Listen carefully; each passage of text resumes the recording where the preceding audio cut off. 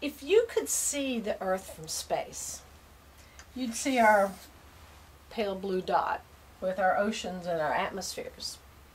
But if you could see the plasmas in space or the magnetic fields in space, what you would see is the Earth looks like a comet. Its magnetic field looks like a dipole when you're close to the Earth. But because the solar wind is blowing on it, that dipole gets up on the day side and stretched out into a long, long magnetic tail, much like a comet. This tail is very, very long. It extends more than five times the distance to the moon. So when you see the Earth from space, you're only seeing a little bit of the region that the Earth controls. And that region is called the magnetosphere because it's the sphere of influence of the Earth's magnetic field. And I've not drawn this to scale. To scale, actually, this distance is five times the Earth's diameter. So to scale, the Earth should really be more like this size.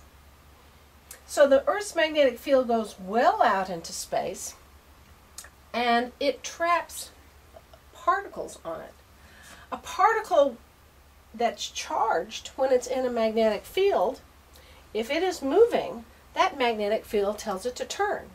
So a particle of one size does turn right, turn right, turn right, turn right, turn right, turn right, turn right, and ends up cycling around the magnetic field.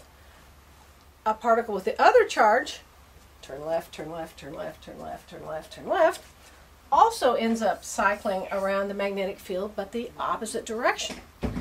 So what happens is because the particle cycles and cycles and cycles around the magnetic field, then every particle that starts on the same magnetic field line stays together. They stay on the same magnetic field line together.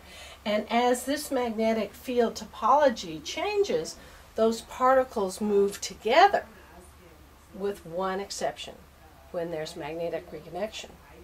Only in the case of magnetic reconnection, can you take particles from this field line and this field line that used to be separate. But now we can reconnect them in this wonderful process called merging or reconnection.